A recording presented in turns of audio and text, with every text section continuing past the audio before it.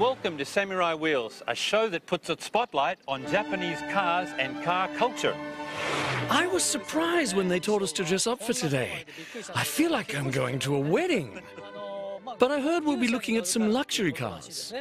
That's what I've heard. We're going to compare two luxury vehicles that are not Mercedes, not BMW, and not even Lexus. Two minivans from Toyota and Nissan.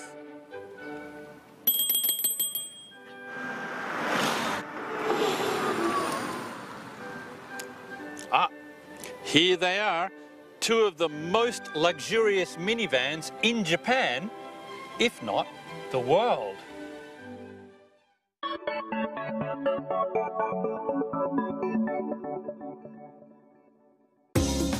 Today, we'll be comparing the Toyota Alphard and the Nissan Elgrand. These minivans are positioned at the top end of the category.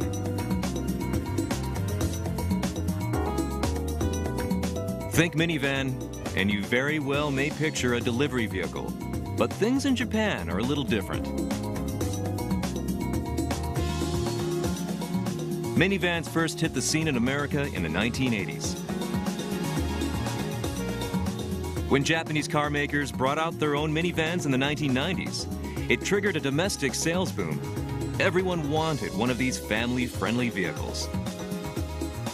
Today, almost half of the vehicles in Japan's top 20 annual sales rankings are minivans. The Elgrand was the first minivan to venture into the luxury segment. Just 19 months after it debuted in 1997, total production hit 100,000 units. Toyota then responded by releasing their popular Alphard model. The luxury minivan is now an established category in Japan. Today, we'll take a thorough look at two competing third-generation models. We'll also try to get a sense of where the luxury minivan market is headed. So, Ukyo, you've heard of the Galapagos effect, Mm-hmm. a phrase often used to describe unique things about Japan. Yep. If you are isolated long enough from outside forces like species on the Galapagos Islands, then you evolve and are transformed into a brand new species not seen anywhere else on the planet. And the two minivans we're looking at today are automotive examples of the Galapagos effect. Hmm. You're right. Only Japan uses luxury specs for this type of vehicle. exactly, exactly. So what we have here is the Nissan Elgrand 350 Highway Star Premium. Over here we have the Toyota Alphard hmm. Hybrid Executive Lounge. Now, just looking at them from the front here, what do you think of the, the, the front design? Design. At first glance, it's hard to see these chromed out vans as luxury vehicles. this one looks more sort of settled. The Nissan looks uh, tighter, although the grill is, is huge. I mean, it's a big grill. It still looks like hmm. something out of Star Wars, maybe a Darth Vader type of grill, hmm. or an Iron Man even. Over here, the Alphard, you've got this extra huge piece of chrome on the top. It's sort of like to give it more identity, I think, mm. isn't it? Give it a stronger presence on the road, yeah. yeah yeah. The focal point for a luxury minivan is its comfortable second row seats. Our duo starts with the Elgrand. Nissan's development slogan for this vehicle was to make it the king of minivans. Okay, let's open this up. Use my Darth Vader impersonation. Use the force. with the force. Right, now let's check out the interior, the hmm. second row of seats here. It's, it's, it's actually very soft, very comfortable. You've got the armrest, adjustable armrest, you can actually get rid of. You can lift, lift like that and just get it. Loads of Wow, there's even an ottoman. Yes, it does have the Ottoman function with the uh, footrest. And the, I mean, the quality of the materials inside is actually quite good. You've got this, all the seats are leather. Very comfortable and luxurious. Even someone like you has plenty of room. It's sort of like business class in a, a small jet, basically. And we've got, wait a minute, have to do the cup holders. Peter kinda has a thing for cup holders. We have 16 cup holders. Right, we've got one, two, three, four, five, six, seven, eight. So we've got eight cup holders just for passengers in the second row. And if you count all of the cup holders in the car, you have 16 cup holders, which is the same as the Honda step wagon that we tested last year. It's tied for the record. Yeah, exactly. But you'll be surprised because this is not actually the top version. There's a, a version above this, the flagship version, and it's called the Elgrand VIP. Hmm. Let's have a look at that. Good oh, heavens, look at that. Wow, that's taking it up a notch. That's nearly first class. It's a whole different level. Wow, that's like a bar. Yeah. Is that a bar? Yep, there's a bar counter. Oh. So how does the Alphard compare? Toyota's development theme was omotenashi, which is Japanese for hospitality. The first thing you notice is that there's really high quality leather everywhere. And look at the handle. This is covered in leather and it's got a chrome surround. Look at the size of it. But that's great because we can get in very easily. Look at that. Ah. Oh dear. Dear, dear, this is this is luxury. I mean, if that was business class, this is first class. These executive lounge seats are Toyota's definition of minivan luxury. They offer the sumptuous feel of top quality leather and a seat design that just cradles the passenger. The armrest sports a control panel it gives passengers access to the retractable ottoman and a selection of power reclining features. These feature packed seats allow you to raise or lower the temperature to your liking. Clever design ensures that small items won't be lost between the seats. This is truly a seat designed to welcome passengers. This is really great. Amazing stuff. Wow. wow. Uh, I'm done for the day. Okay. I feel like taking my shoes off. what is it about Japanese that you always want to take your shoes off straight away when you get in a, a luxurious car or boat or plane? Can't take your shoes off? Tatami culture. Exactly. You're right there. And one would obviously help you with your Whoa. Pop up table. It's tiny. Wait a minute. Wait a minute. Okay. The Alphard has the first class first seats, class. but it has economy class tables. What is this? it should be a little bigger, right? Yeah, exactly. And of course, you've got cup holder here with damper on. It's got a damper on. Look at that. Isn't that sexy? The price is impressive too. This model runs around 7 million yen. The Elgrand can be had for about 5 million yen. These are good enough for the world, not just for Japan. I don't think we'll catch on because different markets have different expectations of cars. I mean, a car like this is mainly used for families. They don't use it in the same way as Japanese use minivans like this. Maybe they just need to see it. The problem is that this car is over 7 million yen. By the time it got to America or hmm. even Europe, it would be $80,000. I don't know if people would pay that for a Toyota badge. Mm, that hurts. but you're right. Still, the Mercedes S-Class goes for about double the price of one of these. While the rear seats of an S-Class are nice, I think that these seats are much more comfortable. Oh, yeah. If foreign VIPs who are used to the Mercedes S-Class got a taste of one of these, I bet they'd choose it over the Mercedes or a BMW 7 Series. It's about the look of the car. It's about the hmm. shape of the car. I don't know that in, especially in Europe, in such a hierarchical society, whether a, a minivan a, a car shaped like this could be considered a, a luxury car. In other words, no matter how nice the interior is, Europeans would still think this looks like a delivery van. So if you go to a party on the weekend in Monaco and show up in a Maybach or a 7 Series, you can step out in style. If you come in one of these, people will wonder why you're driving a Japanese delivery van. Mm, mm. Now, let's see how it drives.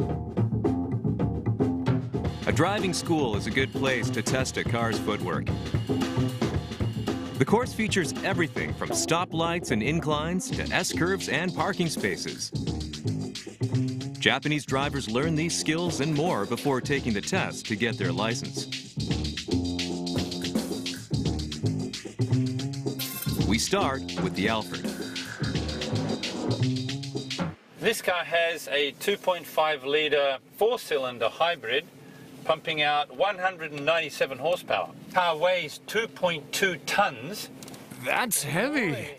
And you can, it's very heavy, I can tell. But it's like an office. It's so quiet. Nice ride too. But how's the, the steering? Is it are you getting enough uh, information from the road? Not much, to be honest a little bit sort of synthetic. Mm. The weight makes it stable, but the steering feels electronic. It feels very front-heavy, too. Uh, well, this is testing your uh, cornering ability. right, the F1 driver. but it's a little like driving a forklift. You fail. you really got to turn the wheel. Okay, so now we're going to check out the slalom ability of this car.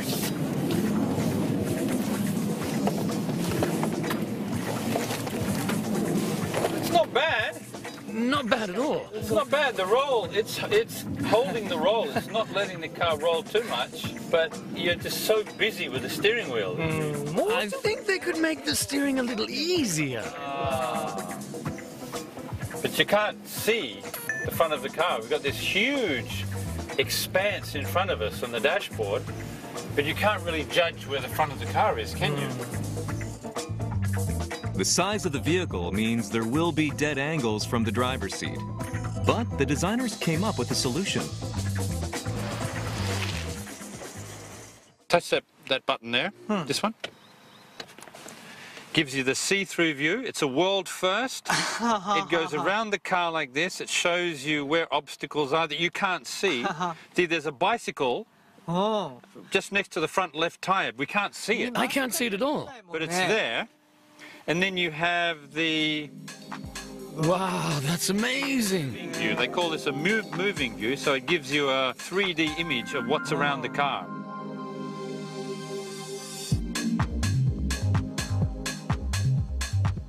How do things feel in the second row? That's an important point. I'm just fine back here. It's very stable. How fast were you cornering? Well, that's we're 45 now, and I oh. slow down to 30. Normal driving speed. I thought the B pillar would block the view, but it's actually fairly good from back here. So I'm going into the slalom, Way, way. How does that feel in the back? Ah, I get it. It's the center of gravity. There's almost no roll even on sharp turns. In the center of the car, the ride is very nice. Ah, of course. Yeah, that makes sense.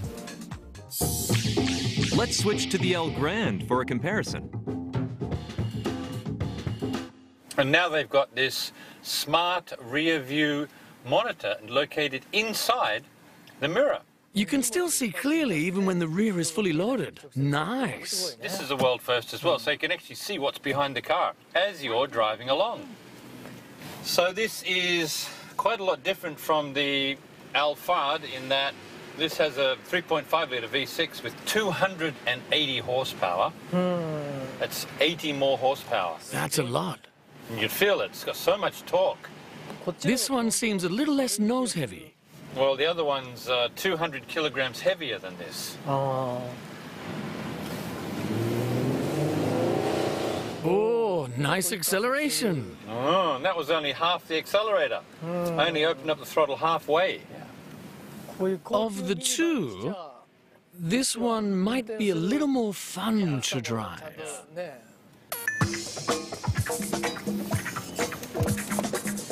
ね The front wheels seem to respond better. Whoa, it's so heavy. The middle of the corner. Oh, wow. This is fun. Now it's Ukyo's turn. The steering's way too heavy.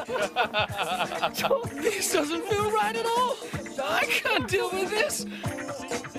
It seems like Ukyo doesn't like the effort it takes to steer these heavy vehicles. Next, we test these minivans in a real driving environment. At this speed, everything feels perfect. I'm in business class. Oh. We are on the expressway. Okay, let's see what this car's got. 280 horsepower. Wow. That's pretty impressive. For a car this size, it's amazing. That's enough power to overtake and merge anywhere in the world, I think. 280 horses is practically a GTR. I think what we'll find is that this Nissan is probably has a little bit of straight line stability. Are you feeling any movement in the back there? Not at all. Straight line stability seems excellent. This, I think, is probably the more fun to drive. L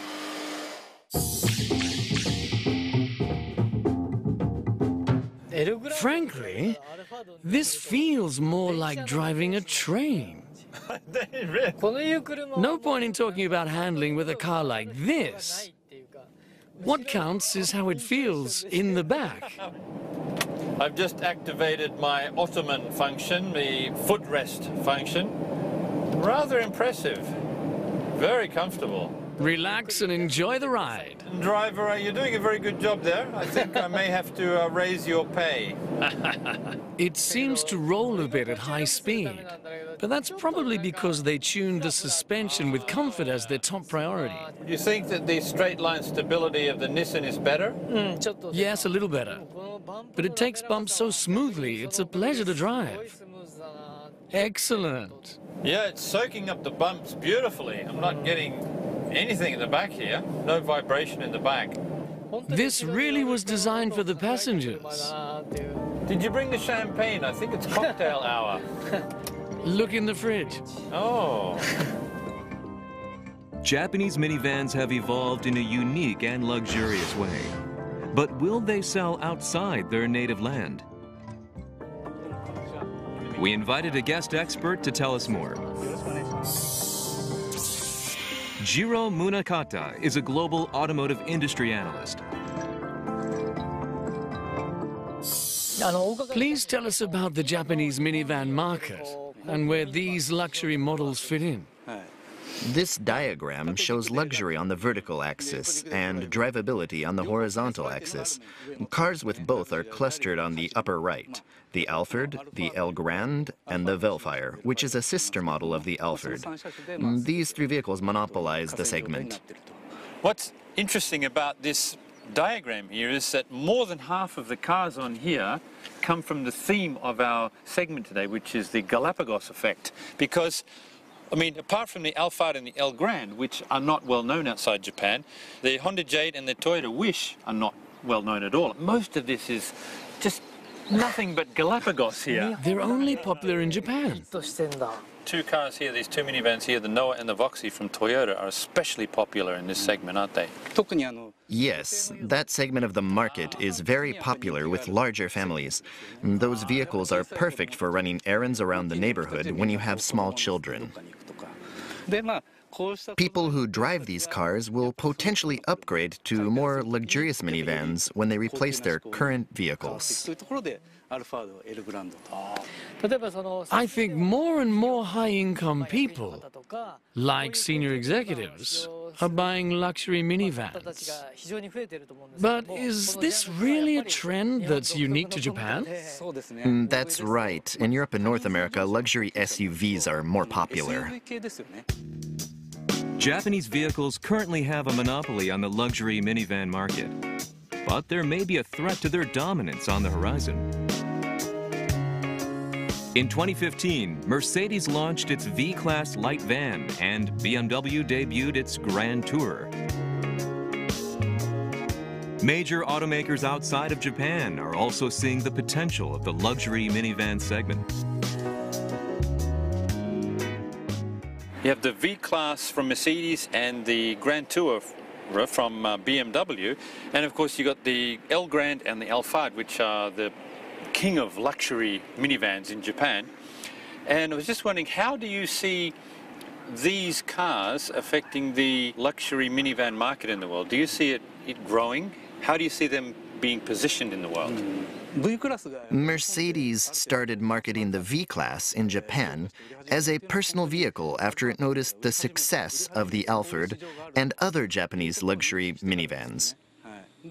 BMW is aiming its Grand Tourer at Japanese minivan users who might otherwise choose the Serena or some other box-type minivan. Mm, So I think the foreign premium brand automakers are achieving a certain amount of success in Japan. When you look at the global picture, you see that minivan type vehicles are starting to sell in China and some of the other BRIC nations. Some European luxury makers are setting their sights on these future growth markets and rolling out models for this new segment, especially in China, which is a very big market. I would expect to see more and more people driving minivans and more popularity for multi-passenger luxury vehicles. So I think it's definitely likely that the luxury minivan market will find some degree of success outside of Japan. With the one-child policy on the way out in China, there will be more big families that need transportation. With markets like that adopting the minivan concept, I think the Japanese luxury minivan is going to escape from the Galapagos effect and become a global phenomenon. That should be a new market opportunity for Japanese automakers. It looks like the luxury minivan is already having an effect outside Japan.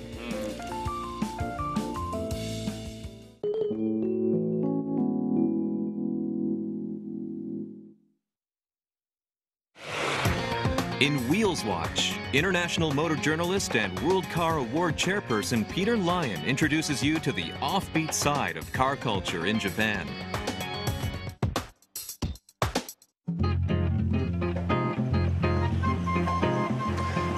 I've come to the bustling Shinjuku district, which just happens to be the most popular destination for foreign tourists in Tokyo. Now, should you have the opportunity to drive on Japanese roads, here is some advice to make sure you don't get lost.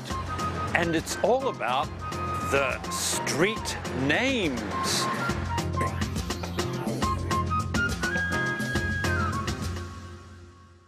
In Japan, you'll be hard pressed to find a renter car with an English language sat-nav device. But whether you have an English or a Japanese version, you might think you'll be able to type in a street name and number and reach your destination. Because in the West, we base our addresses on a road naming system. For example, if you wanted to go to the British Museum in London, all you'd have to do is head for Great Russell Road. But in Japan, things don't work like that. This is the address of Tokyo City Hall, and you won't find a street name or number anywhere. Instead of a street naming and numbering system, Japan divides its cities and towns into suburbs, sub-suburbs, blocks, sub-blocks, and then adds a unique numbering sequence. Now, to find an address in Japan, you have to know this. And that's not all. This is a map of Shinjuku I picked up at the local tourist center. notice something strange?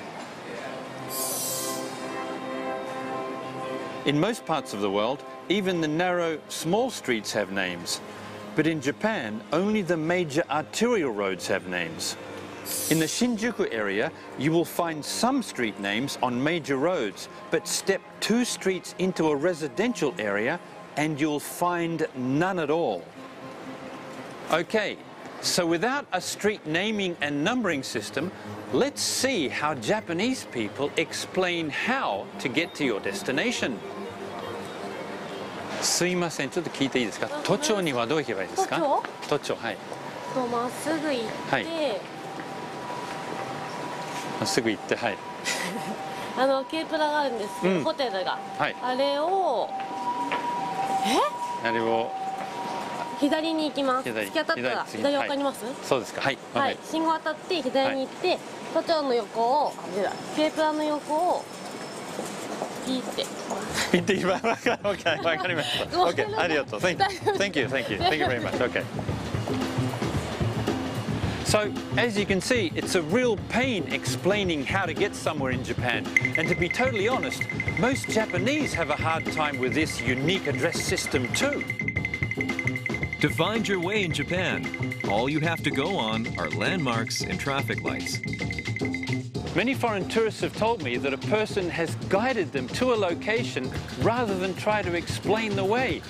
And ask someone for directions. It might be the highlight of your day.